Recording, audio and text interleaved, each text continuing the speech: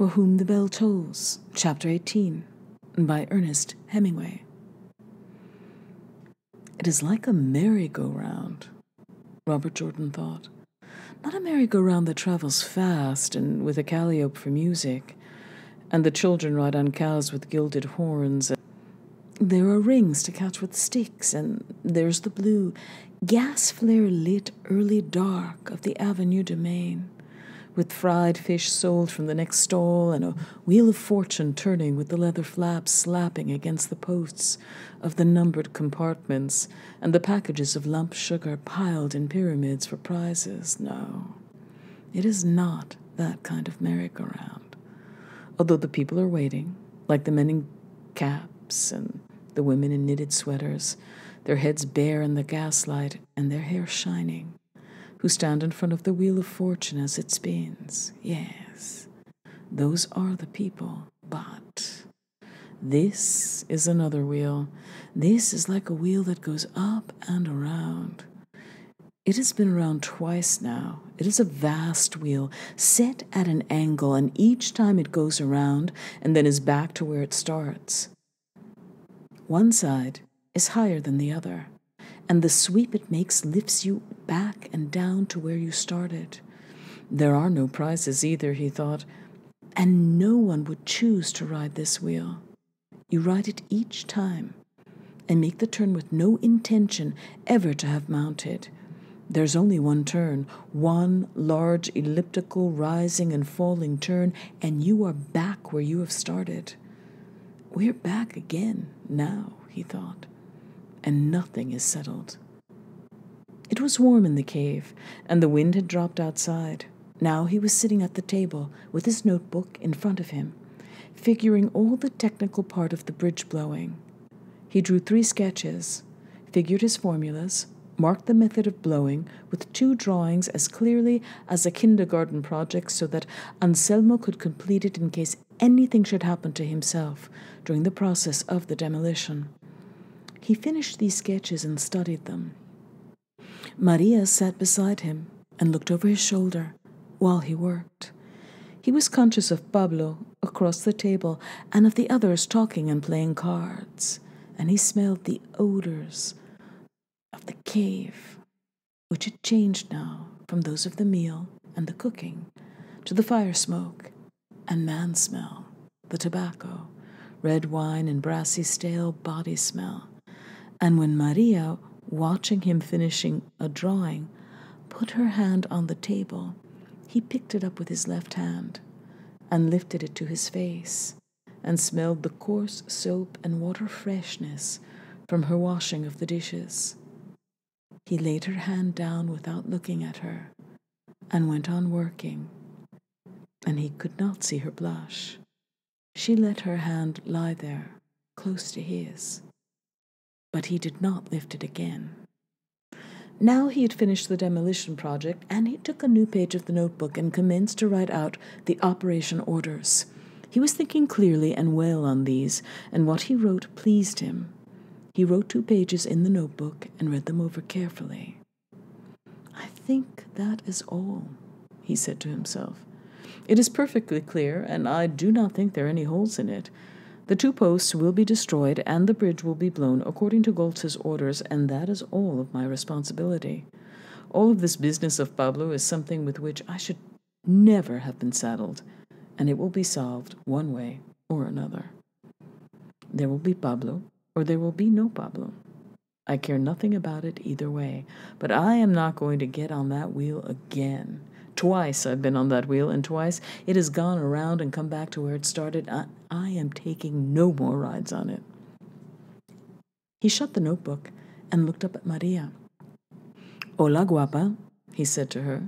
Did you make anything out of all that? No, Roberto, the girl said, and put her hand on his hand that still held the pencil. Have you finished? Yes. Now it is all written out and ordered. What have you been doing, Ingles? Pablo asked him from across the table. His eyes were bleary again. Robert Jordan looked at him closely. Stay off that wheel, he said to himself. Don't step on that wheel.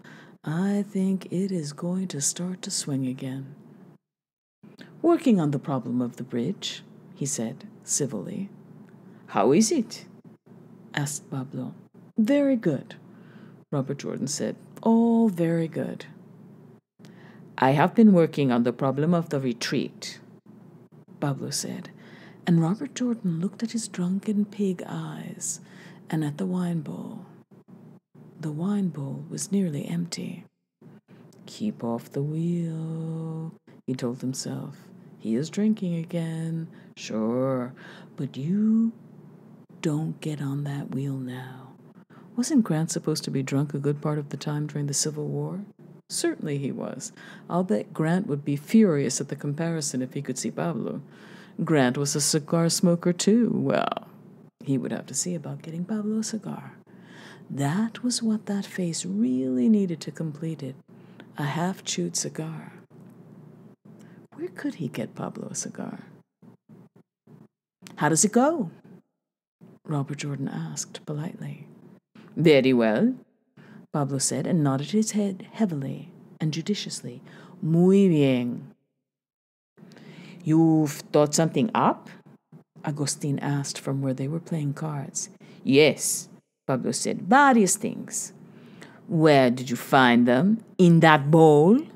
Agustin demanded. Perhaps, Pablo said. Who knows? Maria, fill the bowl, will you please? In the wineskin itself, there should be some fine ideas. Agustin turned back to the card game. Why don't you crawl in and look for them inside the skin? Nay, said Pablo equably. I search for them in the bowl. He is not getting on the wheel either, Robert Jordan thought. It must be revolving by itself. I suppose you cannot ride that wheel too long. That is probably quite a deadly wheel. I'm glad we're off of it. It was making me dizzy there a couple of times, but it is the thing that drunkards and those who are truly mean or cruel ride until they die. It goes around and up, and the swing is never quite the same. And then it comes around down. Let it swing, he thought. They will not get me onto it again. No, Sir General Grant, I am off that wheel. Pilar was sitting by the fire, her chair turned so that she could see over the shoulders of the two card players who had their backs to her. She was watching the game. Here it is the shift from deadliness to normal family life that is the strangest, Robert Jordan thought. It is when the damned wheel comes down that it gets you. But I am off that wheel, he thought, and nobody's going to get me onto it again. Two days ago, I never knew that Pilar, Pablo, nor the rest existed, he thought. There was no such thing as Maria in the world. It was certainly a much simpler world. I had instructions from Goltz that were perfectly clear and seemed perfectly possible to carry out, although they presented certain difficulties and involved certain consequences. After we blew the bridge, I expected either to get back to the lines or not get back, and if we got back, I was going to ask for some time in Madrid. No one has any leave in this war, but I am sure I could get two or three days in Madrid. In Madrid, I wanted to buy some books, to go to the Florida hotel and get a room and have a hot bath, he thought. I was going to send Luis the porter out for a bottle of absinthe, if he could locate one, at the Mantequerias Leonesas or at any of the places off the Gran Via and I was going to lie in bed and read after the bath and drink a couple of absinthes, and then I was going to call up Gaylord's and see if I could come up there and eat. He did not want to eat at the Gran Via because the food was no good, really, and you had to get there on time, or whatever there was of it would be gone. Also, there were too many newspaper men there, he knew, and he did not want to have to keep his mouth shut. He wanted to drink the absinthe and to feel like talking and then go up to Gaylord's and eat with Karkov. Where they had good food and real beer and find out what was going on in the war. He had not liked Gaylord's, the hotel in Madrid the Russians had taken over when he first went there, because it seemed too luxurious, and the food was too good for a besieged city, and the talk too cynical for a war. But that corrupted very easily, he thought. Why should you not have as good food as could be organized when you get back from something like this? And the talk that he had thought of as cynicism when he had first heard it, it turned out to be much too true. This will be something to tell at Gaylord's, he thought, when this is over. Yes, when this is over. Could you take Maria to Gaylord's? No, you couldn't. But you could leave her in the hotel, and she could take a hot bath and be there when you came back from Gaylord's. Yes, you could do that. And after you had told Karkov about her, you could bring her later because they would be curious about her and want to see her. Maybe you wouldn't go to Gaylord's at all. You could eat early at the Gran Via and hurry back to the Florida, but you knew you would go to Gaylord's because you wanted to see all that again. You wanted to eat that food again, and you wanted to see all the comfort of it and the luxury of it after this. Then you would come back to the Florida, and there Maria would be. Sure, she would be there after this was over. After this was over, yes. After this was over. If he did this well, he would rate a meal at Gaylord's. Gaylord's was the place where you met famous peasant and worker Spanish commanders who had sprung to arms from the people at the start of the war without any previous military training and found that many of them spoke Russian. That had been the first big disillusion to him a few months back, and he had started to be cynical to himself about it. But then he realized how it happened. It was all right. They were peasants and workers.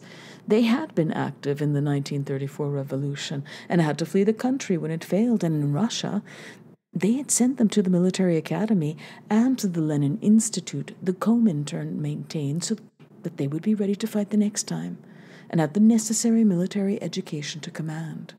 The Comintern had educated them there. In a revolution, you could not admit outsiders who helped you, nor that anyone knew more than he was supposed to know.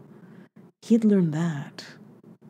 If a thing was right, fundamentally, the lying was not supposed to matter. There was a lot of lying, though. He did not care for the lying at first. He hated it. Then, later, he'd come to like it. It was part of being an insider. But it was a very corrupting business. It was at Gaylord's that you learned that Valentin Gonzalez, called El Campesino, or the peasant, had never been a peasant, but was an ex sergeant in the Spanish Foreign Legion who had deserted and fought with Abd el Krim. That was all right, too. Why shouldn't he be? You had to have these peasant leaders quickly in this sort of war, and a real peasant leader might be a little much like Pablo. You couldn't wait for the real peasant leader to arrive. He might have too many peasant characteristics. So you had to manufacture one. At that, from what he had seen of Campesino, with his black beard, his thick negroid lips, and his feverish staring eyes, he thought he might give almost as much trouble as a real peasant leader. The last time he had seen him, he seemed to have gotten to believe his own publicity and think he was a peasant. He was a brave, tough man, no braver in the world, but God, how he talked too much. And when he was excited, he would say anything, no matter what the consequences of his indiscretion and those consequences had been many already. He was a wonderful brigade commander, though in a situation where it looked as though everything was lost. He never knew when everything was lost, and if it was, he would fight out of it. At Gaylord's, too, you met the simple stonemason Enrique Lister from Galicia, who now commanded a division and who talked Russian too, and you met the cabinet worker, Juan Modesto from Andalusia, who had just been given an army corps. He never learned his Russian in Puerto de Santa Maria, although he might have if they had a Berlitz school there that the cabinet makers went to. He was the most trusted of the young soldiers by the Russians because he was a true party man. A hundred percent, they said, proud to use the Americanism. He was much more intelligent than Lister or El Campesino. Sure, Gaylord's was the place you needed to complete your education. It was there you learned how it was all really done, instead of how it was supposed to be done. He had only started his education, he thought. He wondered whether he could continue with it long. Gaylord's was good and sound and what he needed. At the start, when he had still believed all the nonsense, it had come as a shock to him. But now he knew enough to accept the necessity for all the deception, and what he learned at Gaylord's only strengthened him in his belief in the things that he did hold to be true. He liked to know how it really was, not how it was supposed to be. There was always lying in a war, but the truth of Lister, Modesto, and El Campesino was much better than the lies and legends. Well, someday they would tell the truth to everyone. And meantime, he was glad there was a Gaylord's for his learning of it. He would go to Madrid after he had bought the books and after he had lain in the hot bath and had a couple of drinks and had read a while, but that was before Maria had come into all this that he had that plan. All right, they would have two rooms, and she could do what she liked while he went up there and he'd come back from Gaylord's to her. She had waited up in the hills all this time. She could wait a little while at the Hotel Florida. They would have three days in Madrid. Three days could be a long time. He'd take her to see the Marx Brothers at the opera. That had been running for three months now, and would certainly be good for three months more. She'd like the Marx Brothers at the opera, he thought. She'd like that very much. It was a long way from Gaylord's to this cave, though. No, that was not the long way. The long way was going to be from this cave to Gaylord's. Kashkin had taken him there first, and he had not liked it. Kashkin had said he should meet Karkov because Karkov wanted to know Americans, and because he was the greatest lover of Lope de Vega in the world and thought Fuente Ovejuna was the greatest play ever. Maybe it wasn't that, but he, Robert Jordan, did not think so. He had liked Karkov, but not the place. Karkov was the most intelligent man he had ever met, wearing black riding boots, gray breeches, and a gray tunic, with tiny hands and feet, puffily fragile of face and body, with a spinning way of talking through his bad teeth. He looked comic when Robert Jordan first saw him, but he had more brains and more inner dignity and outer insolence and humor than any man that he had ever known. Gaylord's itself had seemed indecently luxurious and corrupt, but why shouldn't the representatives of a power that governed a sixth of the world have a few comforts? Well, they had them, and Robert Jordan had at first been repelled by the whole business, and then had accepted and enjoyed it. Kashkin had made him out to be a hell of a fellow, and Karkov had at first been insultingly polite, and then when Robert Jordan had not played at being a hero, but had told a story that was really funny and obscenely discreditable to himself, Karkov had shifted from the politeness to a relieved rudeness, and then to insolence, and they had become friends. Kashkin had only been tolerated there. There was something wrong with Kashkin, evidently, and he was working it out in Spain. They would not tell him what it was, but maybe they would now that he was dead. Anyway, he and Karkov had become friends, and he had become friends too with the incredibly thin, drawn, dark, loving, nervous, deprived, and unbitter woman with a lean, neglected body and dark, gray streaked hair, cut short, who was Karkov's wife, and who served as an interpreter with the Tank Corps. He was a friend, too, of Karkov's mistress, who had cat eyes, reddish gold hair, sometimes more red, sometimes more gold, depending on the coiffures. A lazy, sensual body made to fit well against other bodies. A mouth made to fit other mouths, and a stupid, ambitious, and utterly loyal mind. This mistress loved gossip and enjoyed a periodically controlled promiscuity, which seemed only to amuse Karkov. Karkov was supposed to have another wife somewhere beside the Tank Corps one, maybe two more, but nobody was very sure about that. Robert Jordan liked both the wife he knew and the mistress. He thought he would probably like the other wife too, if he knew her, if there was one. Karkov had good taste in women. There were sentries with bayonets downstairs outside the porte cochere at Gaylord's, and tonight it would be the pleasantest and most comfortable place in all of besieged Madrid. He would like to be there tonight instead of here, though it was all right here, now that they had stopped that wheel. And the snow was stopping too. He would like to show his Maria to Karkov, but he could not take her there unless he asked first and he would have to see how he was received after his trip. Goltz would be there after this attack was over, and if he had done well, they would all know about it from Goltz. Goltz would make fun of him, too, about Maria. After what he'd said to him about no girls, he reached over to the bowl in front of Pablo and dipped up a cup of wine. With your permission, he said. Pablo nodded. He is engaged in his military studies, I imagine.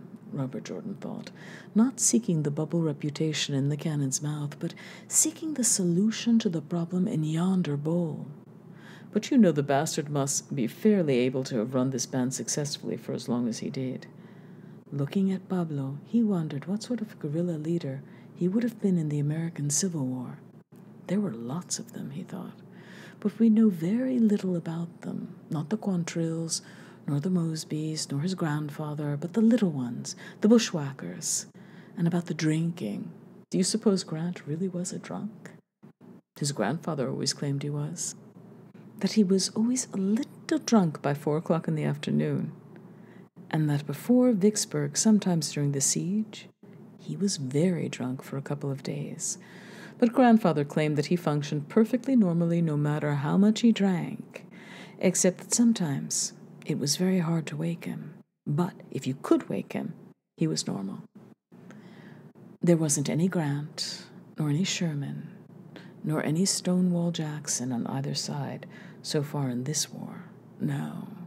Nor any Jeb Stuart either, nor any Sheridan. It was overrun with McClellans, though. The fascists had plenty of McClellans, and we had at least three of them.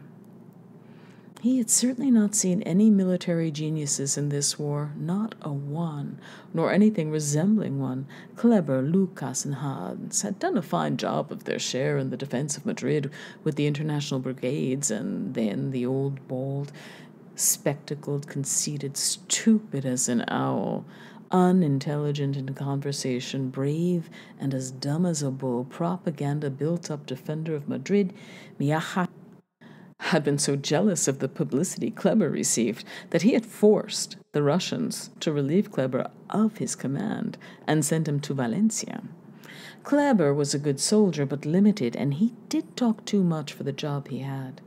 Goltz was a good general and a fine soldier, but they always kept him in a subordinate position and never gave him a free hand.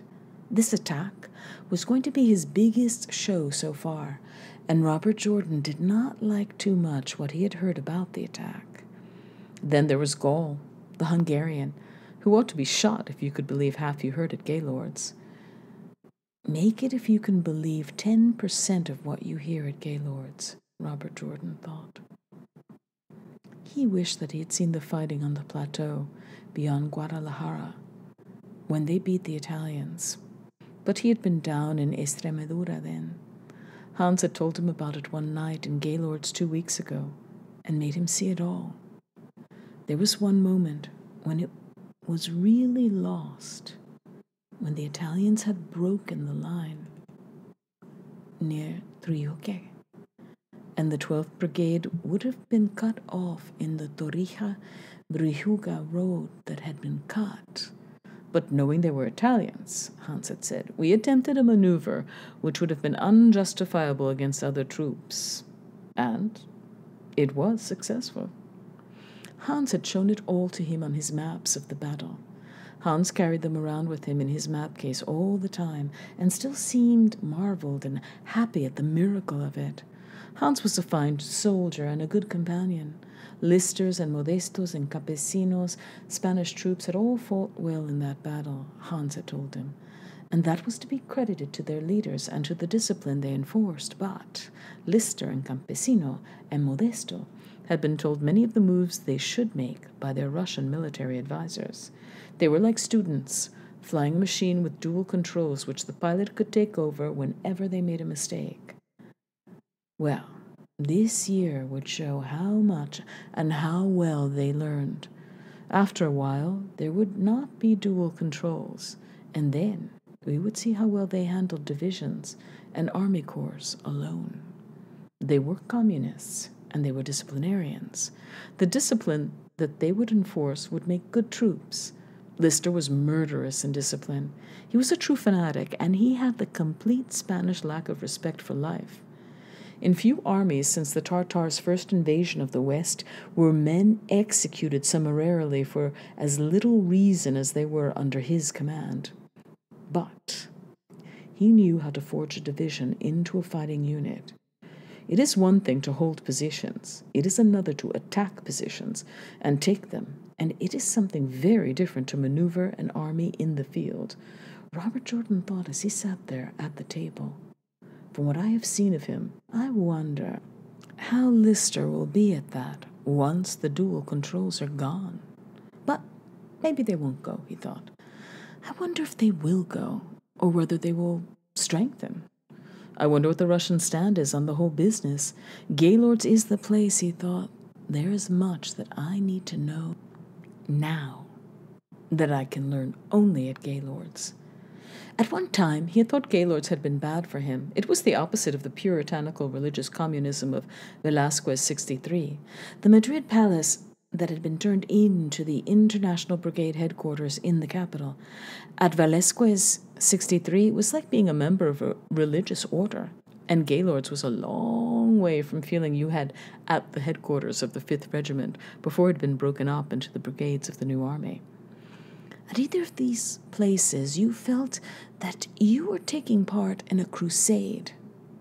That was the only word for it, although it was a word that had been so worn and abused that it no longer gave its true meaning. You felt, in spite of all bureaucracy and inefficiency and party strife, something that was like the feeling you expected to have and did not have when you made your first communion. It was a feeling of consecration to a duty toward all of the oppressed of the world, which would be as difficult and embarrassing to speak about as religious experience, and yet it was authentic as the feeling you had when you heard Bach, or stood in Chartres Cathedral, or the cathedral at Leon, and saw the light coming through the great windows, or when you saw Mantegna and Greco and Bruegel in the Prado it gave you a part in something that you could believe in wholly and completely, and in which you felt an absolute brotherhood with the others who were engaged in it. It was something that you had never known before, but that you had experienced now, and you gave such importance to it and the reasons for it that your own death seemed of complete unimportance only a thing to be avoided because it would interfere with the performance of your duty. But the best thing was that there was something you could do about this feeling and this necessity too. You could fight. So you fought, he thought. And in the fighting, soon, there was no purity of feeling for those who survived the fighting and were good at it. Not after the first six months. The defense of a position or of a city is a part of war in which you can feel that first sort of feeling. The fighting in the Sierras had been that way. They had fought there with the true comradeship of the revolution. Up there, when there had been the first necessity for the enforcement of discipline, he had approved and understood it. Under the shelling, men had been cowards and had run. He had seen them shot and left to swell beside the road nobody bothering to do more than strip them of their cartridges and their valuables. Taking their cartridges, their boots, and their leather coats was right. Taking the valuables only realistic. It only kept the anarchists from getting them. It had seemed just and right and necessary that the men who ran were shot. There was nothing wrong about it. Their running was a selfishness the fascists had attacked, and we had stopped them on that slope in the grey rocks, the scrub pines and the gorse of the Guadarrama hillsides. We had held along the road under the bombing from the planes and the shelling when they brought their artillery up. And those who were left at the end of that day had counterattacked and driven them back. Later, when they had tried to calm down on the left, sifting down between the rocks and through the trees, we had held out in the sanitarium, firing from the windows and the roof although they had passed it on both sides. And we lived through knowing what it was to be surrounded until the counterattack had cleared them back behind the road again. In all that, in the fear that dries your mouth and your throat, in the smashed plaster dust, and the sudden panic of a wall falling, collapsing in the flash and roar of a shell burst, clearing the gun, dragging those away who had been serving it, lying face downward and covered with rubble, your head behind the shield working on a stoppage, getting the broken case out, straightening the belt again. You, now, lying straight behind the shield, the gun searching the roadside again. You did the thing there was to do, and knew that you were right. You learned the dry mouth, fear purged, purging ecstasy of battle. And you fought that summer and that fall for all the poor in the world, against all tyranny, for all the things that you believed, and for the new world you had been educated into. You learned that fall, he thought, how to endure, and how to ignore suffering and the long time of cold and wetness, of mud and of digging and fortifying and the feeling of the summer and the fall was buried deep under tiredness, sleepiness, and nervousness and discomfort. But it was still there, and all that you went through only served to validate it. It was in those days, he thought, that you had a deep and sound and selfless pride. That would have made you a bloody bore Gaylord's, he thought suddenly. No, you would not have been so good at Gaylord's then, he thought. You were too naive. You were in a sort of state of grace. But Gaylord's might not have been the way it was now at that time either. No. As a matter of fact, it was not that way, he told himself. It was not that way at all. There was not any Gaylords then. Karkov had told him about those days. At that time, what Russians there were, had lived at the Palace Hotel. Robert Jordan had known none of them then. That was before the first partisan groups had been formed, before he had met Kashkin or any of the others. Kashkin had been in the north at Irun, at San Sebastian, and in the abortive fighting toward Vitoria.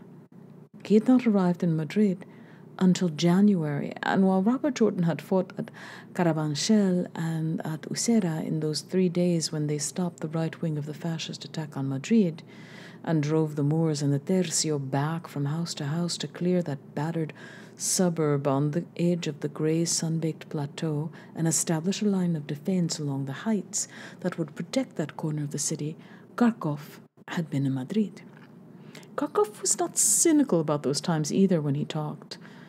Those were the days they all shared when everything looked lost and each man retained now, better than any citation or decoration, the knowledge of just how he would act when everything looked lost. The government had abandoned the city, taken all the motor cars from the Ministry of War in their flight, and old Miaja had to ride down to inspect his defensive positions on a bicycle. Robert Jordan did not believe that one. He could not see Miaja on a bicycle, even in his most patriotic imagination, but Karkov said it was true. But then, he had written it for Russian papers, so he probably wanted to believe it was true after writing it. But there was another story that Karkov had not written. He had three wounded Russians in the Palace Hotel for whom he was responsible There were two tank drivers and a flyer who were too bad to be moved. And since at that time it was of the greatest importance that there should be no evidence of any Russian intervention to justify an open intervention by the fascists, it was Karkov's responsibility that these wounded should not fall into the hands of the fascists in case the city should be abandoned. In the event the city should be abandoned, Karkov was to poison them, to destroy all evidence of their identity before leaving the Palace Hotel. No one could prove from the bodies of three wounded men, one with three bullet wounds in his abdomen, one with his jaw shot away and his vocal cords exposed, one with his femur smashed to bits by a bullet, and his hands and face so badly burned that his face was just as eyelashless, eyebrowless, hairless blister that they were Russians. No one could tell from the bodies of these wounded men. He would leave in beds at the palace that they were Russians. Nothing proved the naked dead man was a Russian. Your nationality and your politics did not show when you were dead. Robert Jordan had asked Karkov how he felt about the necessity of performing this act, and Karkov had said that he had not looked forward to it. How were you going to do it? Robert Jordan had asked. Anne had added, You know, it isn't so simple just suddenly to poison people. And Karkov had said, Oh, yes, it is, when you carry it always for your own use. Then he had opened his cigarette case and showed Robert Jordan what he carried in one side of it. But the first thing anyone would do if they took you prisoner would be to take your cigarette case, Robert Jordan had objected. They would have your hands up. But I have a little more here, Karkov had grinned and showed the lapel of his jacket. You simply put the lapel in your mouth like this and bite it and swallow. That's much better, Robert Jordan had said. Tell me, does it smell like bitter almonds the way it always does in detective stories? I don't know, Karkov said delightedly. I have never smelled it. Should we break a little tube and smell it? Mm, better keep it. Yes, Karkov said, and put the cigarette case away. I am not a defeatist, you understand, but it is always possible that such serious times might come again, and you cannot get this anywhere. Have you seen the communique from the Cordoba front? It is very beautiful.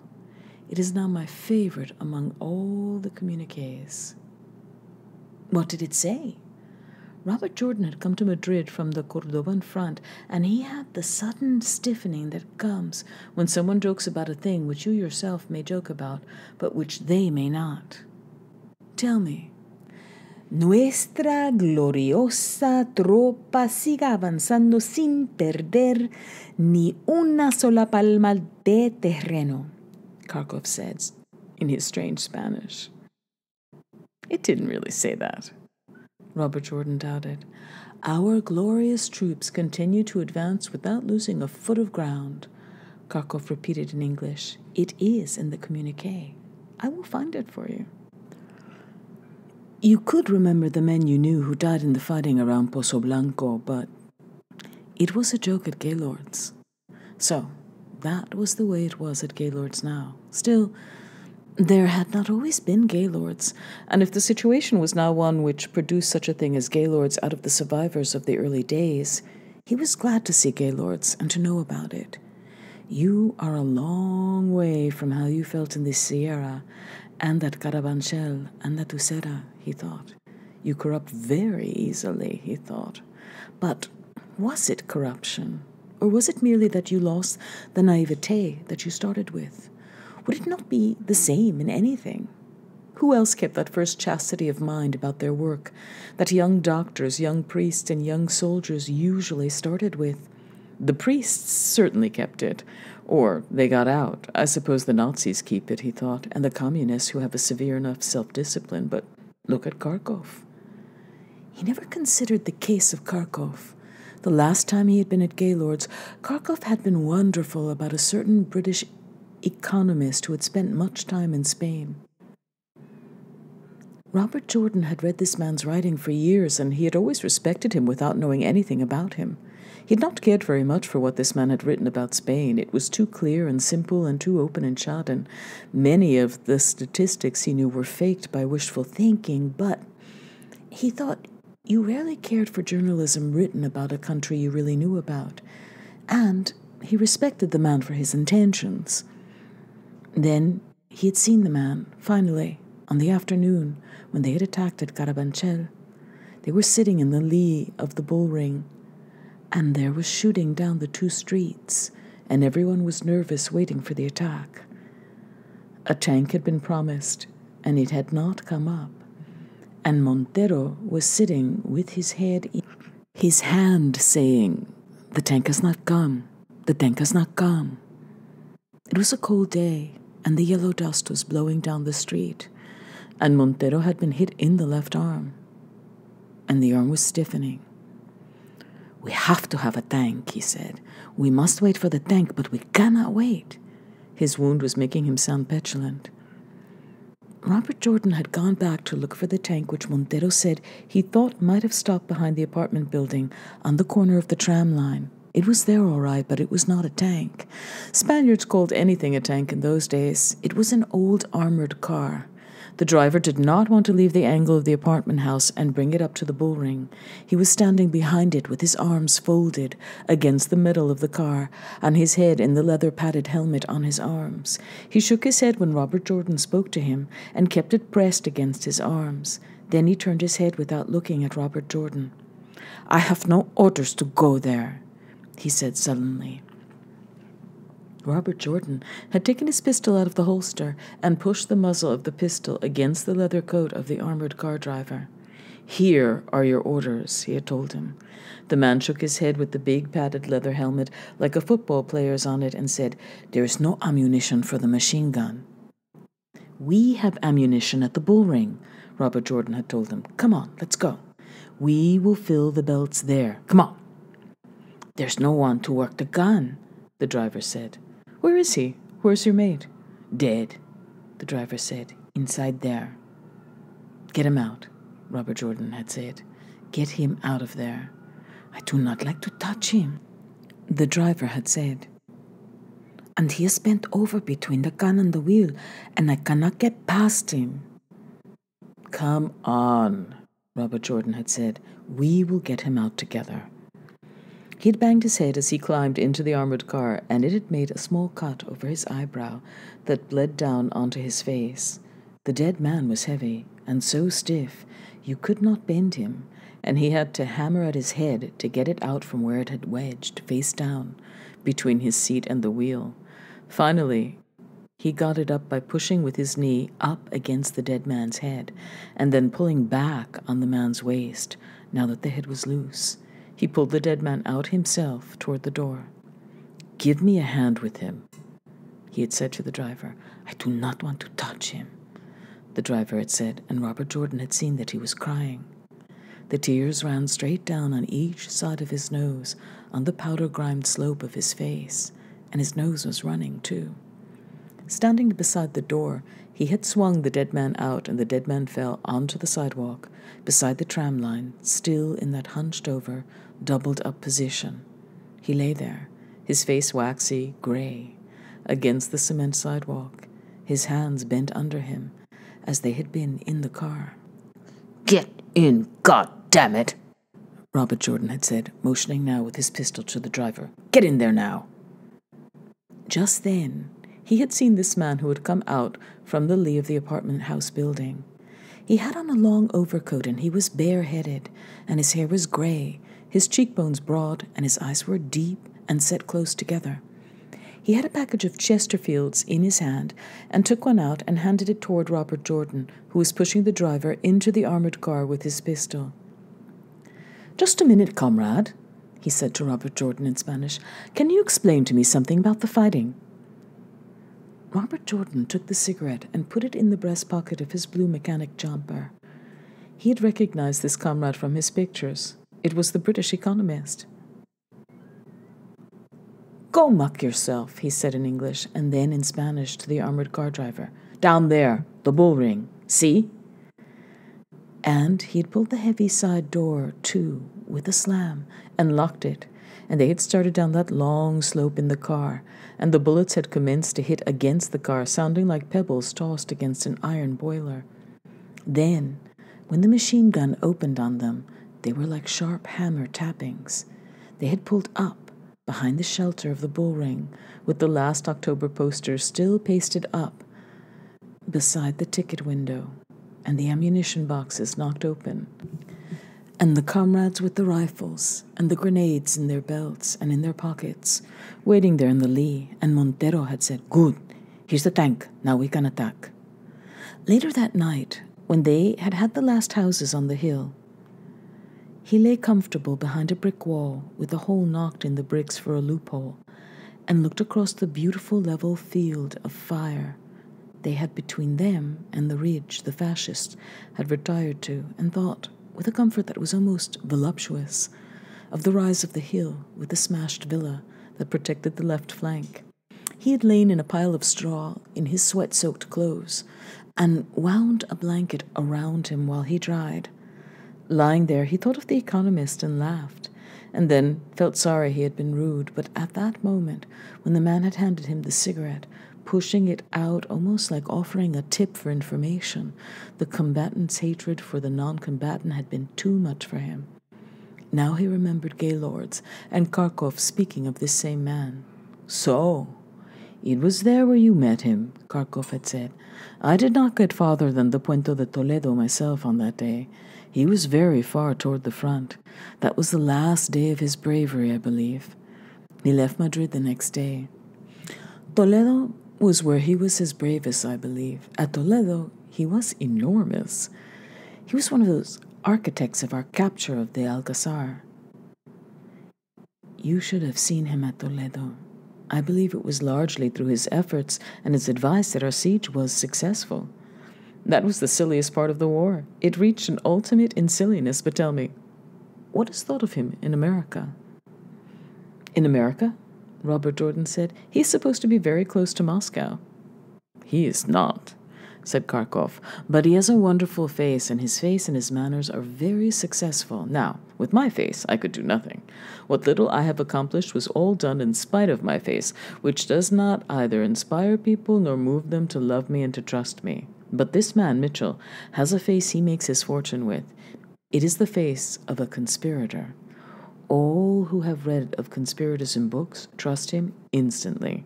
Also, he has the true manner of the conspirator. Anyone seeing him enter a room knows he is instantly in the presence of a conspirator of the first mark. All of your rich compatriots who wish sentimentally to aid the Soviet Union as they believe, or to ensure themselves a little against any eventual success of the party, see instantly in the face of this man, and in his manner, that he can be none other than a trusted agent of the Comintern. Has he no connections in Moscow? None. Listen, Comrade Jordan, do you know about the two kinds of fools? Plain and damn? No. The two kinds of fools we have in Russia. Karkov grinned and began. First, there's the winter fool. The winter fool comes to the door of your house and he knocks loudly. You go to the door and you see him there, and you've never seen him before. He is an impressive sight. He's a very big man and he has on high boots and a fur coat and a fur hat, and he's all covered with snow. First, he stamps his boots and snow falls from them. Then he takes off his fur hat and knocks it against the door. More snow falls from his fur hat. Then he stamps his boots again and advances into the room. Then you look at him and you see he is a fool. That is the winter fool. Now, in the summer, you see a fool going down the street and he is waving his arms and jerking his head from side to side, and everybody from 200 yards away can tell he is a fool. That is a summer fool. This economist is a winter fool. But why do people trust him here? Robert Jordan asked. His face, Karkov said. His beautiful gueux de la. And his invaluable trick of having come from somewhere else, where he is very trusted and important. Of course, he smiled, he must travel very much to keep the trick working. You know, the Spanish are very strange, Karkov went on. This government has had much money, much gold. They will give nothing to their friends. You are a friend. All right. You will do it for nothing and should not be rewarded. But to people representing an important firm or a country which is not friendly but must be influenced, to such people, they give much. It is very interesting when you follow it closely. I do not like it. Also, that money belongs to the Spanish workers. You're not supposed to like things, only to understand, Karkov had told him. I teach you a little each time I see you, and eventually you will acquire an education. It would be very interesting for a professor to be educated. I don't know whether I'll be able to be a professor when I get back. They'll probably run me out as a red. Well, perhaps you will be able to come to the Soviet Union and continue your studies there. That might be the best thing for you to do. But Spanish is my field. There are many countries where Spanish is spoken, Karkov had said. They cannot all be as difficult to do anything with as Spain is. Then, you must remember that you have not been a professor now for almost nine months. In nine months, you may have learned a new trade. How much dialectics have you read? I've read the Handbook of Marxism that Emil Burns edited. That is all. If you have read it all, that is quite a little. There are 1,500 pages, and you could spend some time on each page, but there are some other things you should read. There's no time to read now. I know, Karkov said. I mean, eventually. There are many things to read which will make you understand some of the things that happen, but out of this will come a book which is very necessary, which will explain many things which it is necessary to know. Perhaps I will write it. I hope that it will be me who will write it. I don't know who could write it better. Do not flatter. Karkov had said, I am a journalist, but like all journalists, I wish to write literature. Just now, I'm very busy on a study of Calvo Sotelo. He was a very good fascist, a true Spanish fascist. Franco and these other people are not. I have been studying all of Sotelo's writings and speeches. He was very intelligent, and it was very intelligent that he was killed. I thought that you did not believe in political assassination. It is practiced very extensively, Karkov said. Very, very extensively. But we do not believe in acts of terrorism by individuals, Karkov had smiled. Not, of course, by criminal terrorist and counter revolutionary organizations. We detest with horror the duplicity and villainy of the murderous hyenas of the Bukharinite wreckers and such dregs of humanity as Zinoviev, Kamenev, Rykov, and their henchmen. We hate and loathe these veritable fiends. He smiled again. But I still believe that political assassination can be said to be practiced very extensively. You mean? I mean nothing. But certainly we execute and destroy such veritable fiends and dregs of humanity, and the treacherous dogs of generals, and the revolting spectacle of admirals unfaithful to their trust. These are destroyed. They are not assassinated. You see the difference? I see, Robert Jordan had said. And because I make jokes sometime, and you know how dangerous it is to make jokes even in joke. Good. Because I make jokes, do not think that the Spanish people will not live to regret that they have not shot certain generals that even now hold commands. I do not like the shootings, you understand. I don't mind them, Robert Jordan said. I do not like them, but I do not mind them any more. Mm, I know that, had said. I have been told that. Is it important? Robert Jordan said. I was only trying to be truthful about it.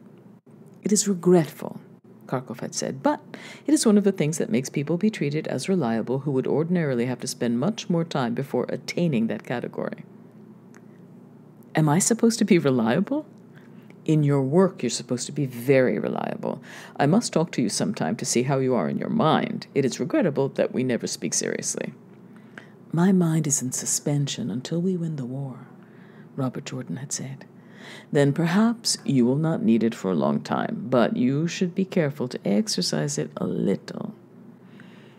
I read Mundo Obrero, Robert Jordan had told them, and Karkov had said, All right, good. I can take a joke too. But there are very intelligent things in Mundo Obrero, the only intelligent things written on this war. Yes, Robert Jordan had said. I agree with you, but to get a full picture of what is happening, you cannot read only by the party organ. No, Karkov had said, but you will not find any such picture if you read 20 papers and then, if you had it, I do not know what you would do with it. I have such a picture almost constantly about what I do is to try to forget it.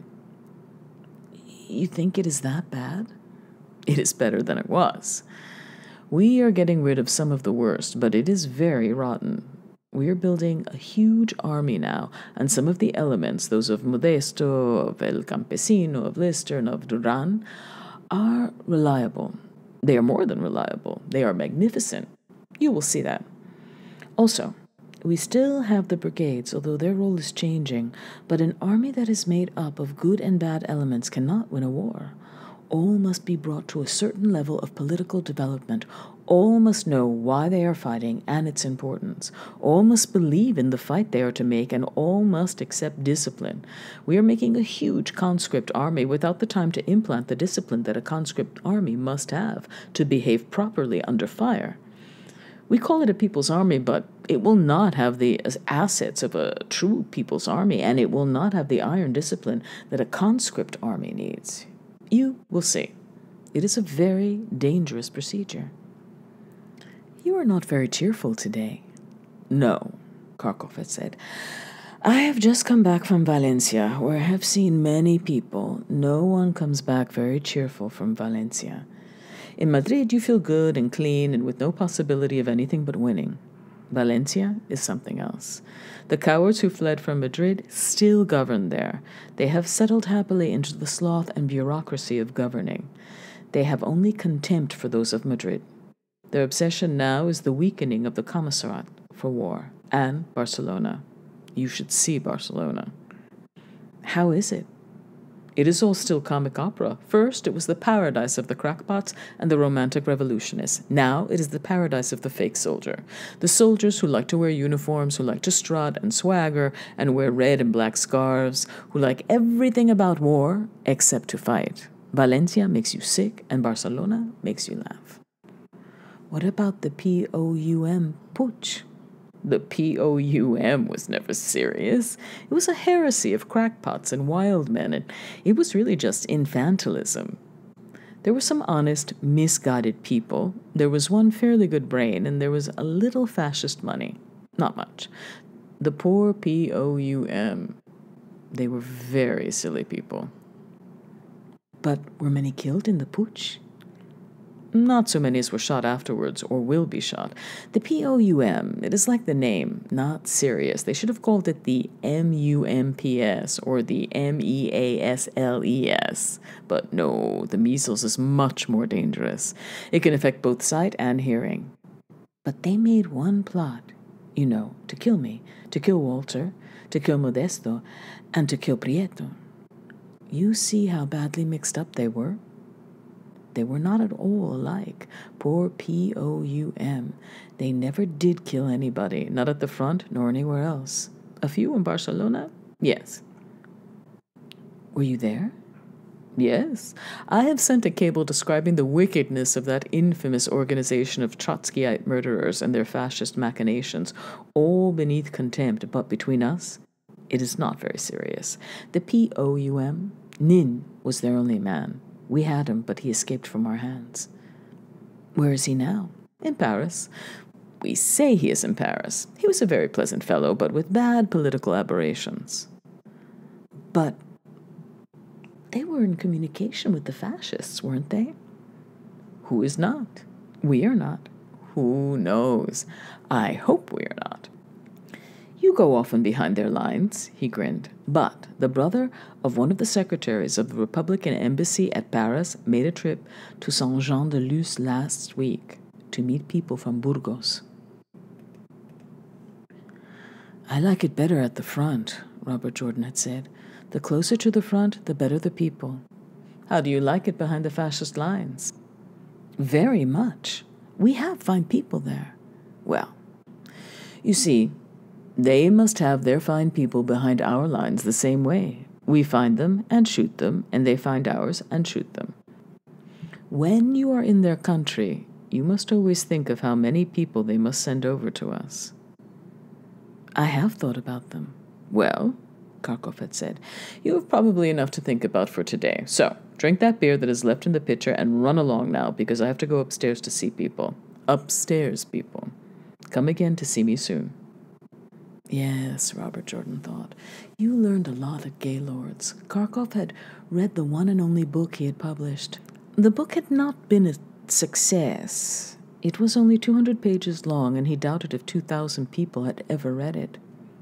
He had put in it what he had discovered about Spain in 10 years of traveling in it, on foot, in third class carriages, by bus, on horse and muleback, and in trucks. He knew the Basque country, Navarre, Aragon, Galicia, the two Castiles, Estremadura. Well, there had been such good books written by Borrow and Ford, and the rest that he had been able to add very little, but Karkov said it was a good book. It is why I bother with you, he had said. I think you write absolutely truly, and that is very rare. So, I would like you to know some things. All right, he would write a book when he got through with this, but only about the things he knew truly and about what he knew. But I will have to be a much better writer than I am now to handle them, he thought. The things he had come to know in this war were not so simple.